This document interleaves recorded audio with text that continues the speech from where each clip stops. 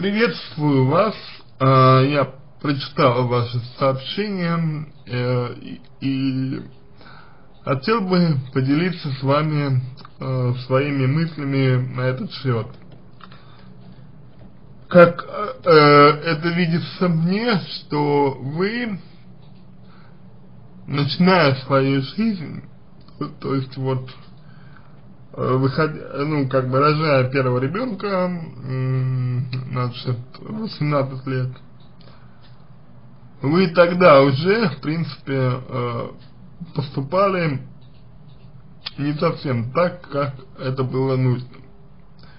То есть 18 лет, вы сами еще ребенок, по сути, э, рожаете ребенка э, другого, и по сути в этот момент э, у вас не складываются отношения с мужчинами, в этот момент доверие к ним пропадает, и плюс еще мама бросает вас, уезжает работать в другую страну, и вы учитесь жить самостоятельно. То есть так получилось, что вам в жизни приходилось э, полагаться только на себя, при этом на мужчин полагаться вообще было нельзя никак. Да, как, э, как партнеры в сексе они вполне вас устраивали и, наверное, устраивают, а вот как мужчины, как э, возможные мужья, как партнеры для вас, они вас не устраивают. По причине того, что, возможно, вам просто, э, у, вас к ним нет доверия. И чтобы, как это ни странно, это доверие возникло, вам нужно немножечко перераспределить свои желания. Когда вы знакомитесь в клубе, э, и проводите время с мужчинами. Какие цели вы преследуете? Ну, по всей видимости, вы преследуете цель, э, как бы одну из двух, э, из двух возможных. Первая цель это просто секс, и вторая цель это желание быть любимой и чувствовать себя женщиной.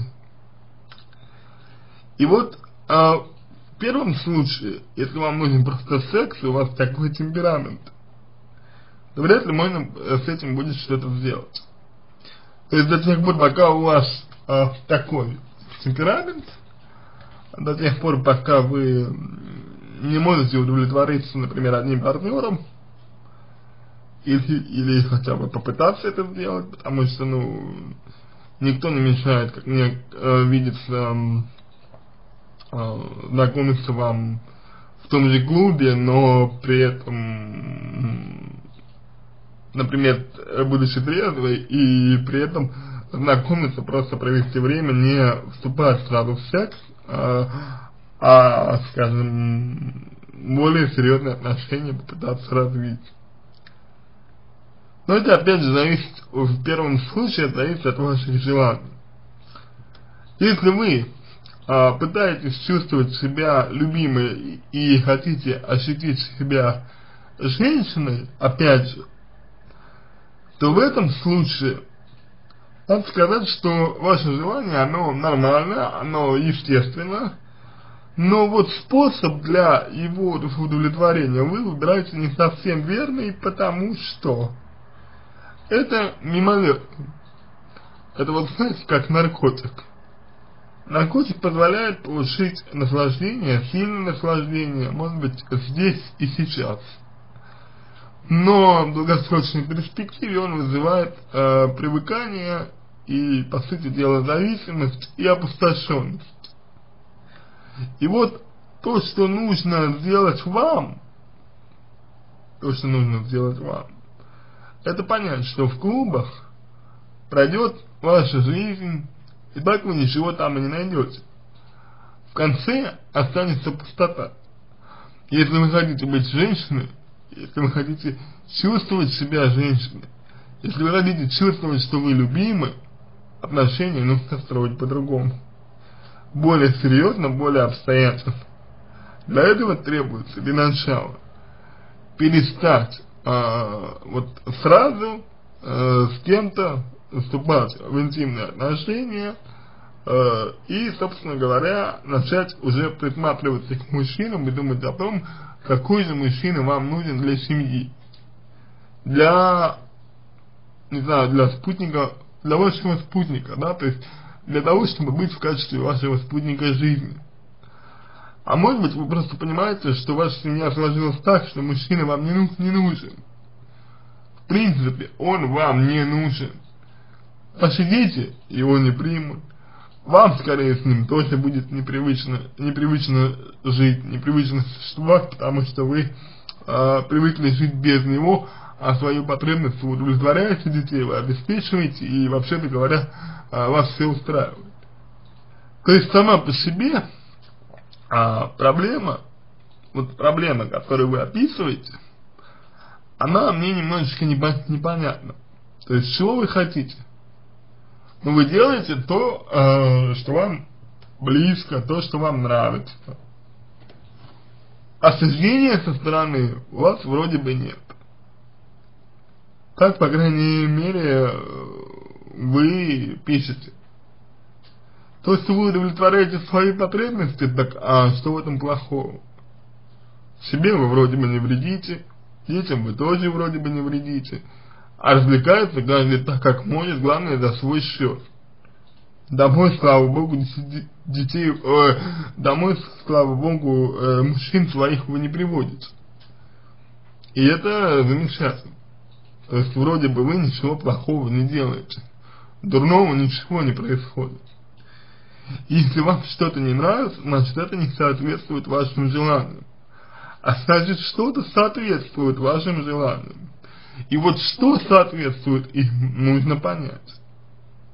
Чтобы в зависимости от, от того, чего вы хотите, корректировать свое поведение. Дальше. Я заметил, что в своем сообщении вы совершенно не говорите о отце, о вашем отце. Говорите, что ваша мама уехала работать в другую страну, оставив вас одних. Здесь как бы э, можно задать резонный вопрос. Какие у вас отношения с отцом и какие отношения с мамой? Вполне возможно, что ваша мама не привила вам определенной модели поведения, не привила вам э, соответствующего правильного отношения к мужчинам, на что указывает то, что оба ваших э, муж, э, партнеров, от которых у, у вас э, были дети, не оказались теми мужчинами, с которыми вы бы разделили свою жизнь. То есть здесь наблюдается негативный сценарий поведения, э, который нужно разрушать и который, как ни странно, навязали вам ваши родители. Вот в этом ключе тоже можно подумать. Потому что, например, если у вас не было отца или отношения с ним были, с ним были дурные, то, соответственно, и первичный образ мужчины у вас тоже дурной. А если мама не дала вам адекватной модели женского поведения и не привила вам образ идеальной женщины, которой бы вы, к которому бы вы стремились, то отсюда, соответственно, и непонимание того, как себя вести. Отсюда и все ваши беды. То есть отношения не складываются потому, что вы э, не знаете, как их вообще строить. Ну, например, э, вот вышли вы замуж за э, мужчину из-за беременности. Через год развелись, он оказался запойным алкоголиком. Но когда вы выходили замуж за него, вы же уже, наверное, догадывались о том, что он много пьет. Это сложно скрыть. Тем не менее, вы с ним целый год жили. Не очень этот момент понятен.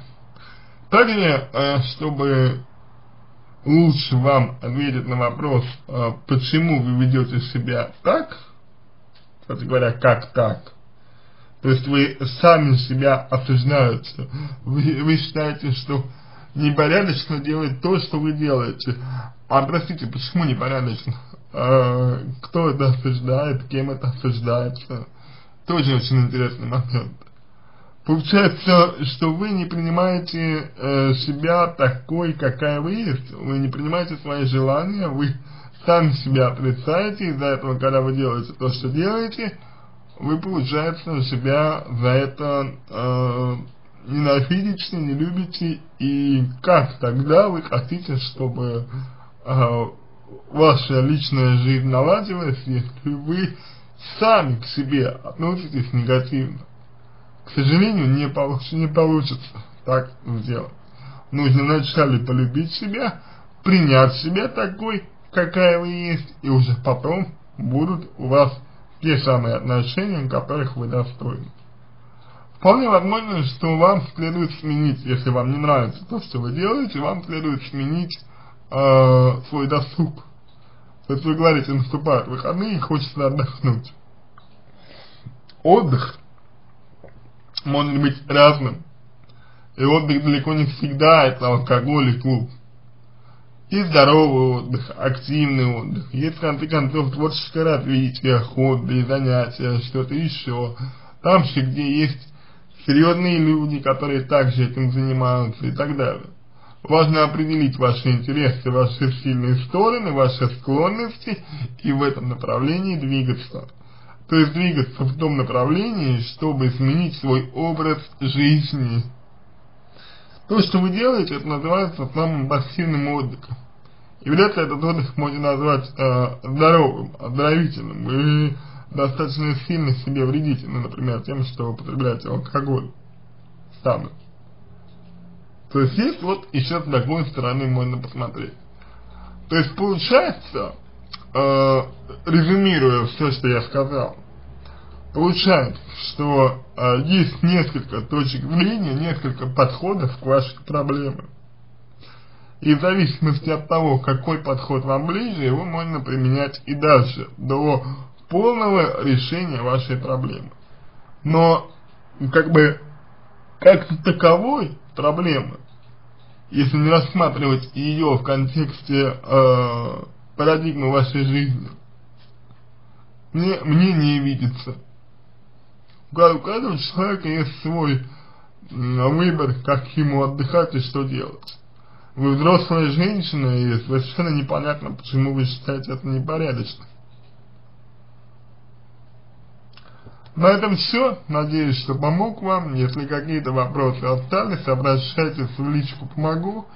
Если вам понравился мой ответ, буду благодарен, если сделаете его лучшим. Желаю вам всего доброго и удачи.